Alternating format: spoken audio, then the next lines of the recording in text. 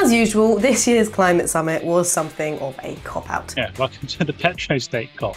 Set against the backdrop of gas flares from the nearby oil fields, a record number of delegates and a record number of fossil fuel lobbyists descended on Dubai for the COP28 talks. There were a few glimpses of progress at the summit, but the overwhelming feeling is that the final outcome played right into the hands of the fossil fuel industry and failed to achieve the urgent action that is so desperately needed. Watch on to hear why. 28 summits later, and the meeting has finally named fossil fuels as the culprit of climate change. Talk about stating the bleeding obvious. And talk about too little too late. But despite a lot of chat, they failed to commit to actually getting rid of fossil fuels. The final text was full of toothless language and coded references to false solutions like carbon capture and storage. And they finally settled on transitioning away from fossil fuels whilst recognising the importance of transitional fossil fuels. Okay, so the failure of COP28 to properly agree on fossil fuel phase out is a disappointment, but we're used to COPs being disappointing. This year was perhaps the first year that the fossil fuel industry's hand was so blatant in the negotiations. From the outset, it would be clear that the summit would be tarred by the influence of the oil baron who was hosting it, but I didn't expect it to be so literal. You do pass a, a gas flare on the way, which is literally on fire. That's James Kirkham, who you'll remember from my last video.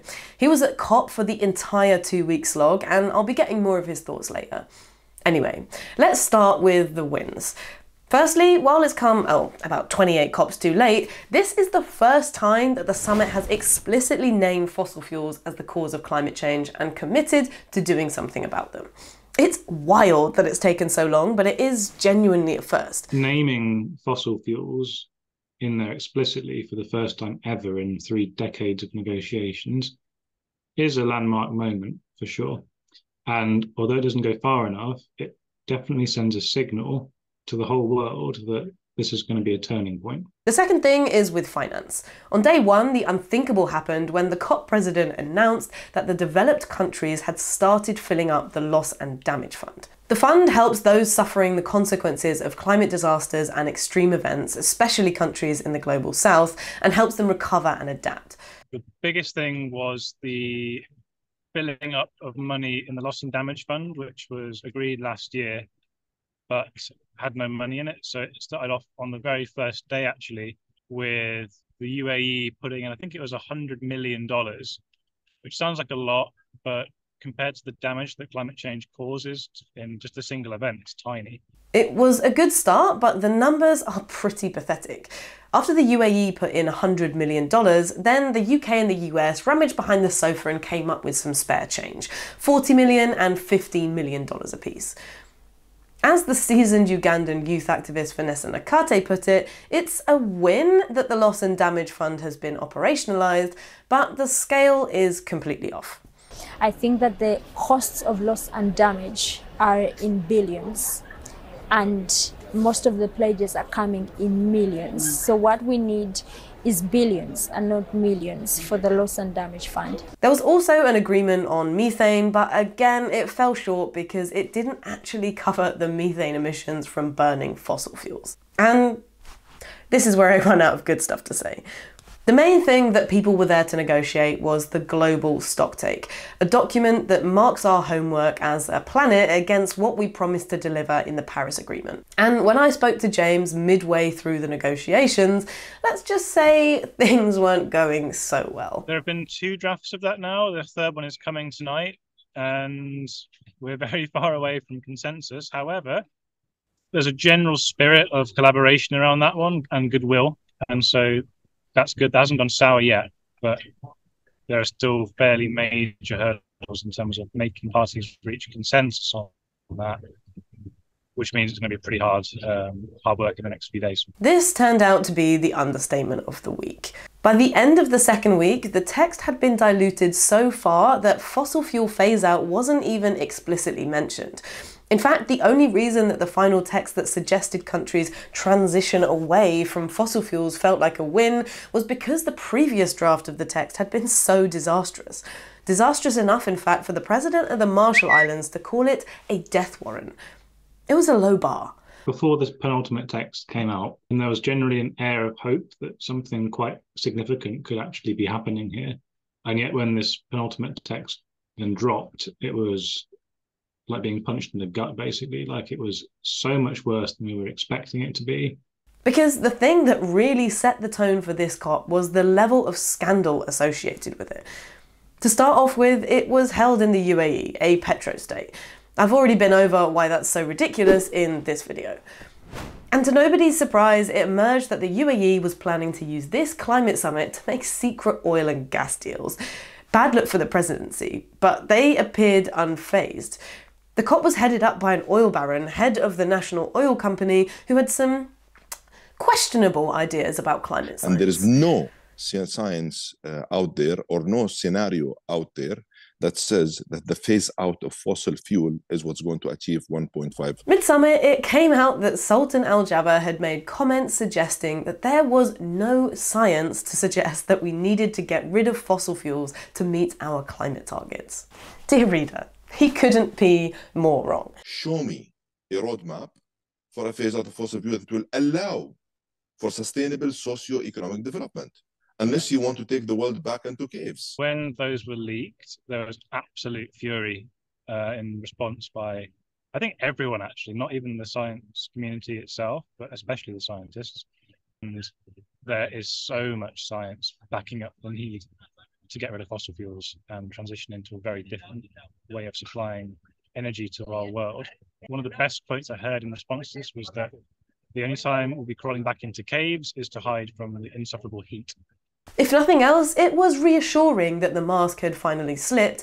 At least he was finally being honest about the UAE's intentions. Because their main agenda, along with their pals in OPEC, the global cartel of oil producing countries, was to keep fossil fuels out of the negotiation text and instead refer to their emissions, leaving lots of room for carbon capture and storage to take centre stage. The language is quite interesting. So it's gone from keeping 1.5 alive to keeping 1.5 within reach. The reason they're doing this, this is because they are pushing, and they mean in the COP28 presidency of UAE, is pushing really hard for these scenarios where we overshoot 1.5 and then come back down again by capturing carbon. Leaked documents show that OPEC was spooked enough to demand that their members push back against any language that explicitly named and shamed fossil fuels, which, if nothing else, shows that there was a credible threat to their continued use. And surprise, surprise, OPEC members like Iraq and Saudi Arabia, as well as the oil drunk USA, used their usual delay tactics to stall proceedings and water down the agreement. As well as the pernicious influences of OPEC in the negotiations, the meeting was also awash with lobbyists who were trying to wrangle decisions. The fossil fuel lobby was, of course, out in force, but apparently so were lobbyists from the meat and dairy industries. It's a record year for the number of fossil fuel lobbyists. Higher the temperatures get, the more the fossil fuel lobbyists come in to defend what's happening, it seems. And now this COP is over, we have seen Al Jaber's true colours once again. Just 48 hours after the summit finished, he announced that he plans to expand the country's oil and gas output. Absolutely stunning. It's no surprise then that some countries treat COP as a joke. It's clear that that's how the UK government sees it at least. Our Prime Minister attended for only 12 hours, which is less time than he spent on the private jet that took him there and back. And then, in the final moments of crunch time in the negotiations, he recalled the minister leading his delegation to vote in Parliament on his farce of an immigration policy that plans to send migrants to Rwanda. I literally live in a satire. Obviously, the UK government doesn't think climate change is a problem, which is why they're rolling back on their already inadequate climate action policies and instead opening new oil and gas fields in the North Sea. For people like James and the negotiators, it's a tough pill to swallow because although the meeting was symbolic for naming fossil fuels for the first time, obviously that's so below par that it's almost insulting to everybody's efforts. I'm away absolutely exhausted. Um, needing time to recover from this experience because it, it's always so emotionally draining as well. We put everything into this. And when you see an outcome which is not what you wanted, it's very hard to take. But thankfully, it's not just negotiators at COPs. There are tens of thousands of activists and campaigners from civil society all over the world who shape the narrative. Not least some of the youth, like 12 year old Licypriya, who stormed the negotiations in the final hours of the meeting. Might have gotten away with it too. It wasn't for these blasted kids. The youth in particular are super, super inspiring. They're amazing. And it does give you confidence that if they become the leaders of the future, we're in safer hands, perhaps safer hands than we are now. But we don't have time to wait for the youth to become our leaders. So, is there an alternative to COP? There's definitely a place for COPs. Like it's a place where the whole world comes together and discusses this in a way which doesn't leave anyone out. And that's a really important thing to do. And ultimately, it's the only way to kind of move the dial forward slowly, but you are kind of moving the base level. We need also other ways of moving forward that are much further ahead, leaps and bounds behind, uh, ahead of where the COP should actually be. I don't have the answer to that right now. This is the million dollar question, really. What can we do which is more urgent? How do we get there more quickly? Whether or not COP was a success by its own metrics doesn't matter. Sure, the final text was symbolic, and sure, it was also a cop out. But the real work doesn't happen at COPs. COP sets the floor for ambition, not the ceiling. So it's up to all of us, from governments to NGOs to institutions to businesses and individuals, to work up from that. We can reform COPs with voting or some of the other technical changes that have been suggested, but ultimately that won't come soon enough to have a serious effect on climate action. So we've got to take things into our own hands and act in our own spheres as well. What's the phrase? The sky's the limit? Thanks for watching and huge thanks to James from ICCI who gave me so much of his time during what I know was a really busy and frantic few weeks. As always, if you like these videos and you want to help me make more of them, you can sign up as a subscriber over on my Patreon, which is linked below. And if you can't get enough of my videos, then check out some of my personal faves up here. See you next time!